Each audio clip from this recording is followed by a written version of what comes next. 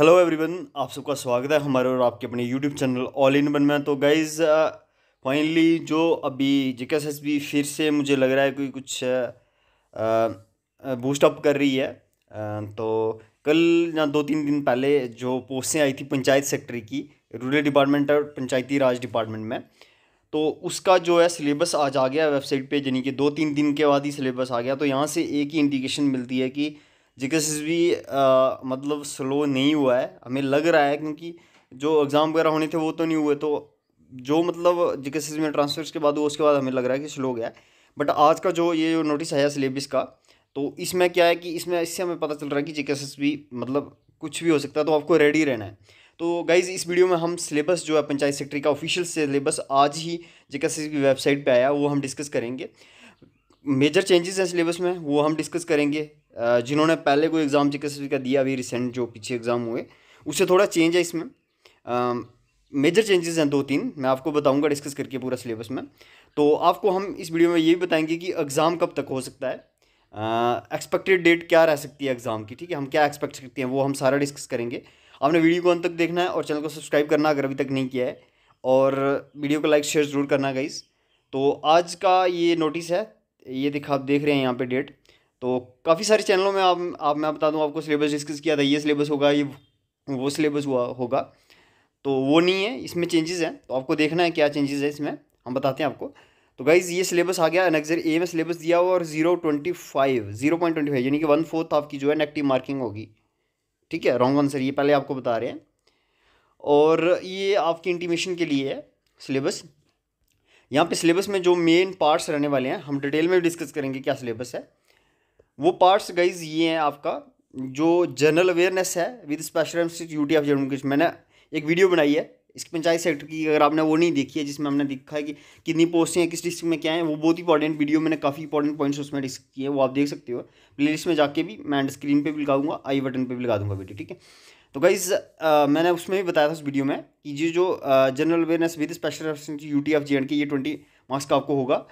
General English ये तो होगी, आपको कंप्रेंशन ये भी होगा ट्वेंटी मार्क्स का। जनरल इंटेलिजेंस एंड रीजनिंग, इसमें थोड़ा चेंज आया, हम देखेंगे क्या क्वांट एप्टीट्यूड यानी कि आपको थर्टी फाइव मार्क्स का इन्होंने कुछ चेंज ला के दिया है, ठीक है? और बेसिक नॉलेज ऑफ़ कंप्यूटर ये सेम रहा ट्वेंटी फाइव मार्क्स इसकी बेटेज बढ़ा दी गई है। देखिए, यहाँ पे चेंजेस क्या हुए हैं फ़र्स्ट पहले तो जी के विद स्पेशल जेड के ये ट्वेंटी मार्क्स का ही रहा है अभी जो रिसेंट एग्ज़ाम हुआ है। और basic knowledge of computer twenty marks का रहता था, यहाँ पे फाइव मार्क्स बढ़ा दिए गए। और जनरल इंग्लिश बीस की रहती थी और जनरल इंटेलिजेंस एंड रीजनिंग ये ट्वेंटी मार्क्स की दस दस की होती थी। क्वांट इसमें ऐड हुआ फिफ्टीन मार्क्स का। और यहाँ पे एक और मेजर चेंज है आपके लिए, जिनका मतलब क्वांट बी का मैं बता दूँ आपको। मार्क्स आपके हंड्रेड रहने वाले हैं। और टाइम आपको वन ट्वेंटी मिनट्स मिल रहा है। देखो, दो ट्वेंटी टू आवर्स है ना? मतलब sixty into two one twenty minutes आपको मिलने वाले हैं इसमें। तो गाइज़ ये इसलिए करा है क्योंकि आपको वन हंड्रेड हंड्रेड हंड्रेड जो क्वेश्चन करने होंगे आपको हंड्रेड क्वेश्चन ही आएँगे मार्क्स की आपको, एक मार्क्स का ऑब्जेक्टिव होगा। तो आपको 120 मिनट में करने हैं। इसलिए मिला आपको टाइम की, क्योंकि यहाँ पे आप में, आपके देख रहे हैं आप जनरल इंटेलिजेंस एंड रीजनिंग और क्वान्टिट्यूड ये ऐड किया गया है और इसमें अजीब मतलब कुछ ऐसे टॉपिक है जो आपने पहले नहीं पढ़े हैं एस के लिए। एस एस में जहाँ और बैंकिंग एग्ज़ाम दिया होगा, उसमें पढ़े होंगे आपने। जे एस नहीं पढ़े तो हम डिस्कस करते हैं क्या सिलेबस है। तो guys general awareness with special reference to U T of J and K इसमें देख रहे हैं आप, ये पुराना ही है current current events and of national and international importance and physical divisions of India, climate and crops in India, transport and communication, demographic uh, census is feature and visual, vital sorry vital statics, important rivers and lakes in India Indian economy ये देखो पूरा ये डाल दिया यहाँ पे Indian economy में बहुत कुछ आ जाता है। इंडियन कल्चर एंड हेरिटेज इसमें भी बहुत कुछ आ जाता है। Indian history with special reference to Jammu special reference to freedom movement तो गाइज़ ये डाला हुआ है यहाँ पे। इसमें आपको इंडियन हिस्ट्री पढ़नी है फोकस आपका रहना चाहिए। फ्रीडम मूवमेंट पे। और Indian constitution basic features preamble fundamental rights देखिए प्लीटी भी यहाँ पे डाल दी है। जे की जो एग्ज़ाम होते हैं, उसमें प्लीटी बिल्कुल ही इन्होंने निकाल दी थी। मतलब आपको देखने के लिए नहीं मिलती थी। जो रिसेंट अगर आपने कोई एग्ज़ाम दिया पिछले दो साल में, एक इंस्पेक्टर का सिलेबस था, उसमें प्लीटी रखी थी। बाकी प्लीटी आपको देखने को नहीं मिलती है तो ये काफ़ी अच्छा है। प्लीटी इंपॉर्टेंट टॉपिक है, ये यहाँ पे इन्होंने डाल दिया। साइंस एंड टेक्नोलॉजी देखिए पूरा सब्जेक्ट डाल दिया है। इन्वायरमेंट इकोलॉजी एंड बायोडाइवर्सिटी ये भी काफ़ी बड़ा है। तो हम आपको बताएँगे ऐसे अप्रोच करना अपने सिलेबस को। Taxation in India direct and indirect taxes ठीक है? C B T and G S T ये आपको टैक्सेस टैक्सेशन का आ गया। और ये आपको, मैं बता दूँ, आपको ये इंडिया की हिस्ट्री है पूरी। यहाँ पे ऊपर तो दिया हुआ है general awareness with special reference to J and K UT यहाँ पे इंडिया का मेजर जो पोर्शन है यहाँ पे ऊपर, और आपको नीचे इसका देखने के लिए मिलेगा जी के ड्यूटी का। तो जी के ड्यूटी का थोड़ा ही है history economy geography heritage and culture important tourist destination J and K reorganisation act ये आपका मोस्ट इंपॉर्टेंट टॉपिक बन जाता है, इसमें से काफ़ी एम आने के चांसेस रहते हैं। और centrally sponsored schemes M G NREGA P M A S B M and Panchayati Raj act ये यहाँ पे ऐड किया गया है इसके पंचायत सेक्रेटरी के हिसाब से, ठीक है, आपके यहाँ पे। तो गाइज़ मैं आपको बता दूँ, ये जो पोर्शन है, ये थर्टी मार्क्स का होना चाहिए था, जिस हिसाब से इन्होंने सिलेबस दिया हुआ इसका। चलो, अब तो हमें ये आपको वही करना है जो है। तो गाइज़ जो सेकंड है ट्वेंटी मार्क्स का जनरल इंग्लिश कम्प्रीहेंशन तो इंग्लिश में tenses narration modal articles reading comprehension filling the blanks with phrases pronouns homonyms homophones etc clauses synonymy antonyms pairs of words and their uses in meaningful sentences rearranging of jumble sentences idiom and phrases uses of preposition active and passive voice error spotting sentence correction spelling correction तो ये एक almost कोई sixteen topic है आपके English के twenty ये आपके लिए एज रहता है सबके लिए, क्योंकि इसमें अच्छा स्कोर करते हैं सारे कैंडिडेट तो मैं आपको एक इंपॉर्टेंट बात बताना चाहूँगा, हमारे, हमने एम जो है ना, जिस आपको हमारे चैनल पे एम भी मिल जाएँगे, अगर चाहते हो आप इस J J and K UT के रिलेटेड, जो इसकी जी की है जियोग्राफी और कल्चर है, इस पर पर्टिकुलर और बाकी भी टॉपिक भी हम कोशिश करेंगे एम सी क्यू डालने की, जो जे के भी रिसेंट एग्ज़ाम हुए हैं, जिनमें हुए हैं, और इंडिया का भी जो हिस्ट्री कल्चर और जियोग्राफी भी आपको एम सी क्यूज़ मिल जाएँगे, उससे आपको आइडिया हो जाएगा कि जे के कैसे एम सी क्यूज़ फ्रेम करता है, जो रिसेंट एग्ज़ाम उनसे हमने लिए हुए हैं। इंग्लिश के भी जो आर्टिकल वगैरह होता है मॉडल्स वगैरह नरिश मॉडल्स वगैरह आइडम एंड फ्रेजेस जो मतलब लर्न करने वाले टॉपिक्स सिनॉनमी इटॉनमी इस पर भी आपको एम मिल जाएँगे, आप देख सकते हो जाके, ठीक है? तो नेक्स्ट जो टॉपिक है गाइज़ ये आपको यहाँ पे जनरल इंटेलिजेंस एंड रीजनिंग ये ट्वेंटी मार्क्स का ये देखते हैं यहाँ पे। हाँ ट्वेंटी मार्क्स का जनरल इंटेलिजेंस रीजनिंग तो गाइज़ अभी तक हमारे फोर्टी मार्क्स हुए हैं और ट्वेंटी ये अब सिक्सटी हो जाएँगे। यहाँ पे चेंज हुआ मेजर जेके ने जो चेंज किया यहाँ पे। नंबर सीरीज़ लेटर सीरीज़ ये semantic series speed distance time ये होता है ये statement conclusion logical reasoning mental reasoning word building numerical operation semantic analogy symbolic number analogy figural analogy semantic classification ये थोड़ा यहाँ पे चेंज डाला है क्योंकि ये सिलेबस आपको मिल सकता है देखने के लिए, जो एस आई फाइनेंस का जो सिलेबस था ना एस आई नहीं इंस्पेक्टर फाइनेंस का, उसमें ये दिया गया था। और ये यहाँ पे इन्होंने डाल दिया है, यहाँ पे बीस मार्क्स का दिया, दस दस का आपको इसमें से जाएगा, दस का इसमें आ जाएगा। ये आपको जनरल इंटेलिजेंस एंड रीजनिंग का है। Symbolic operation trend space orientation ये न्यू टॉपिक है स्पेस विजुलाइजेशन वगैरह। जेके की जो अभी रिसेंट प्रिपरेशन कर रहा है, एक दो साल से, उसके लिए ये न्यू टॉपिक है। तो ऑलमोस्ट देखा हमने हो सकते हैं सारे सिलेबस तो पॉसिबल नहीं होता, इतने सारे सिलेबस किसी निकालता, पर जो मेन मेन सिलेबस थे उसमें ये नहीं था। Venn diagram drawing drawing inferences punched fold pattern folding and unfolding figural pattern ये एनालॉजी की है, ठीक है? आपको जो होती है, उसका पूरा ये, पूरा दिया हुआ है, ये जो बी पार्ट है। तो आपको ट्वेंटी मार्क्स यहाँ से भी आप इजिली स्कोर कर पाओगे जिनका मैथ्स जिनको नहीं आता मतलब क्वांट वगैरह नहीं आता है। तो नेक्स्ट जो पार्ट है गाइज़ ये मुझे सबसे लेंथी लग रहा है और उनके लिए जो कैलकुलेटिव जिनका वीक है the scope of the test will be competition of ठीक है?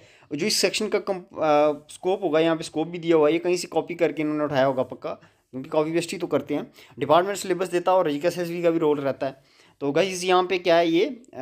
Whole numbers decimals fractions and relationship between numbers profit and loss discount partnership business ये क्या mixture and alligation time and distance time and work percentage ratio proportion square roots averages in ये जिन्होंने banking वगैरह की तैयारी की होगी तो जहाँ जे के किसी एग्ज़ाम की तैयारी की है, जिसमें क्वांट है तो उसमें से दिया हुआ है। अब ये आ गया बी यहाँ पे graphs of linear equation triangles variables kind of centres congruence and similarity of triangle circle and chords tangents angles subtended by chords of a circle ये टेंथ के कुछ टॉपिक लिए हुए हैं, मुझे लगता है common tangents to two or more circle ये टेंथ में था। Triangle quadrilateral regular polygon circle right prism right circular cone right circular cylinder so फिर ये नाइन्थ का मैथ यहाँ पे उठाया हुआ इन्होंने। Heights and distances histogram frequency polygon bar diagram and pie chart hemisphere rectangle parallelepiped regular right pyramid with triangle oscular base trigonometric ratio degree and radian measure standard identities, complementary angles तो ये guys इसका आ गया, ये आपका maths का जो quant का है, ये पोर्शन आपका ये फिफ्टीन मार्क्स का है। मार्क्स इसके कम है, पर आप आज के टाइम में कुछ भी छोड़ नहीं सकते हो, क्योंकि जिस आपका कंपटीशन है ना जिस लेवल का तो आप छोड़ नहीं सकते हो, उसका सारा करना है, आपको अप्रोच करना है। और हाँ सबसे ये ट्वेंटी फाइव मार्क्स का कंप्यूटर कर दिया, ये मुझे है, बहुत, ये भी आपके लिए आज है। कंप्यूटर हालाँकि जी भी काफ़ी लेवल का पूछते हैं अलग अलग लेवल का पूछते हैं तो इसके रिलेटेड भी हम एम जो रिसेंट एग्ज़ाम हो उनसे लेके आएँगे, उससे आपको हेल्प मिल जाएगी कि कंप्यूटर के एम आपको हमारे चैनल पर मिल जाएँगे आपको। तो बाकी एम का मैंने आपको बता दिया। तो कंप्यूटर में बेसिक एप्लीकेशन ऑफ़ कंप्यूटर रहेगा।